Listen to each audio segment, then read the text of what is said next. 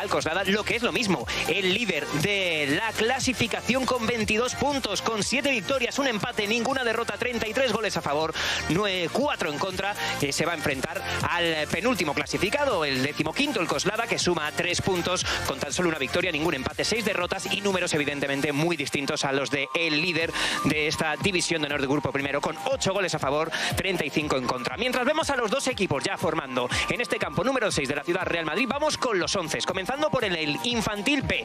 Nathan en portería, Darío y Romero como pareja de centrales, Fernando Aguirre por la izquierda derecha para Pérez como laterales, Guille y Morales en el centro del campo, doble pivote por delante con Rubén en el centro, Iza por la izquierda, Anas por la derecha, Urbina en el centro del campo acompañado por la izquierda por Hugo, Tidier por la derecha, Yago y Unai en la media punta, Raúl y Santiago serán los delanteros del eh, Coslada. Julio J. Sánchez, ¿qué tal? ¿Cómo estás? ¿Qué tal? Real Madrid y además, bueno, pues una de las hombres importantes, eh, Carlos Sánchez, que no va a estar eh, con 18 goles, máximo goleador destacadísimo de esta competición. Sí. Padilla, vaya pase de Padilla para Asier, se frena. Asier puede buscar el lanzamiento con la zurda, el lanzamiento es de Guille.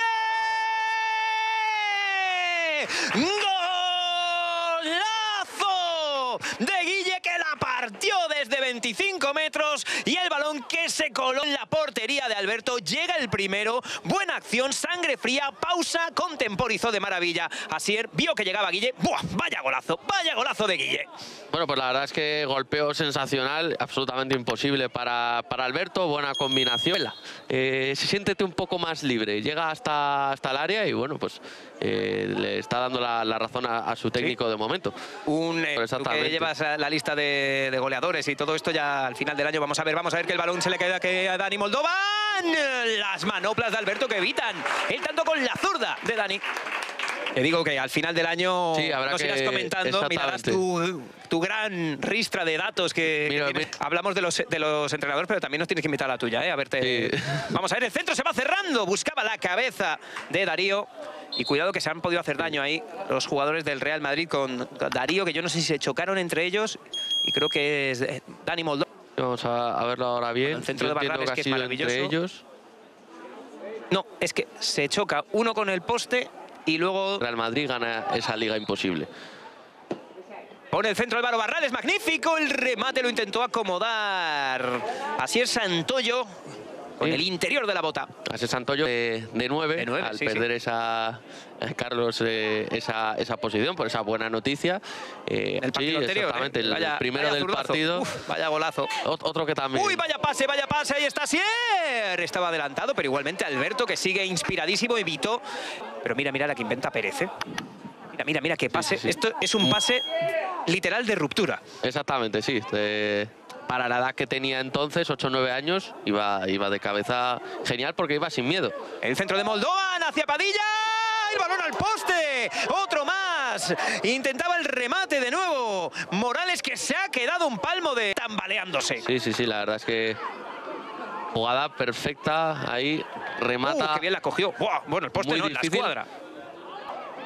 El envío que vuela hacia el segundo palo, el remate de cabeza. Pues al final Fer Aguirre. Hablábamos de él, fue el que remató después de que intentara llegar Tura Morales.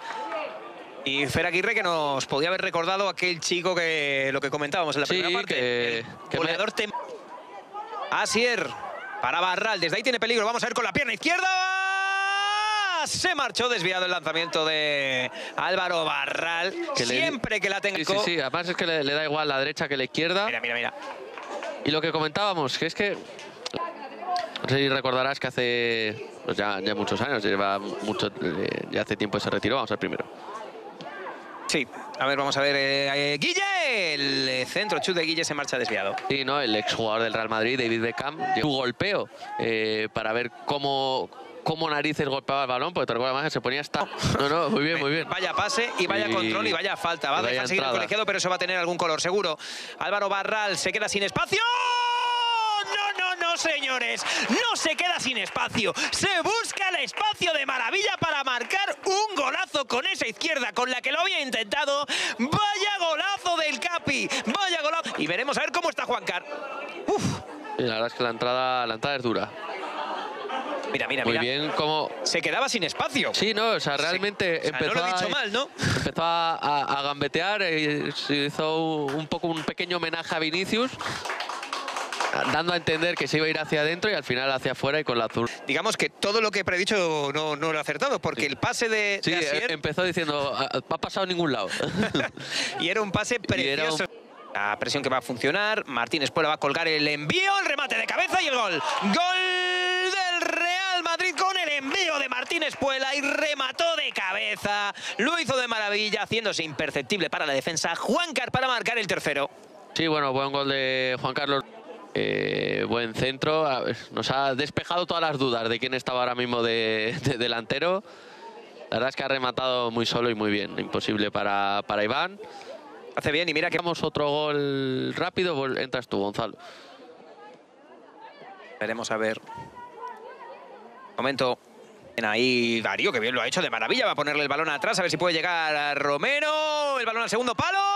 Y Juancar, que ha tenido el segundo en su cuenta, el cuarto, se encontró con Iván, que achicó espacios. De ser valiente y de hacerte lo más grande posible. Mira, mira ahí.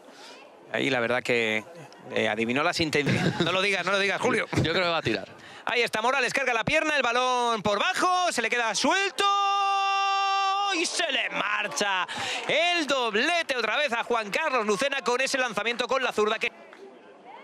Pues tiró, ¿eh? Sí, sí, tío. Además, bueno, hay que reconocer que tuvo cierta suerte porque se, se abre en, en su cabeza y deja de ser un niño para ser un adolescente.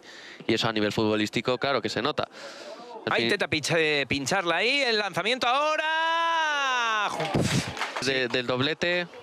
Le hace ilusión, pues un futbolista muy goleador que, Claro. que además es que le. El balón de Daniel, que ha salvado el, otra vez el doblete que se le ha negado a Juancar, pero por lo menos se va con su gol a casa.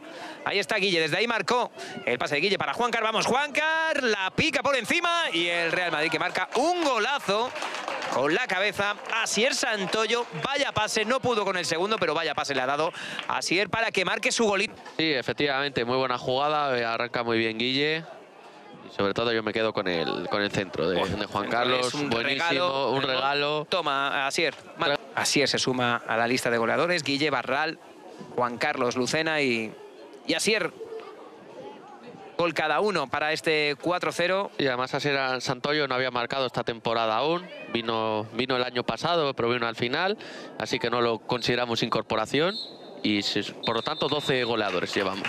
Bueno, pues termina el partido. Gran victoria del Real Madrid, que va a seguir siendo líder de este grupo, haciendo líder al Infantil B, que le ha ganado 4-0 al Coslada. Nosotros lo vamos a dejar aquí, pero nada, enseguida, a continuación, aquí en Real Madrid Televisión KDTV, frente a Unión, a Unión Adarve.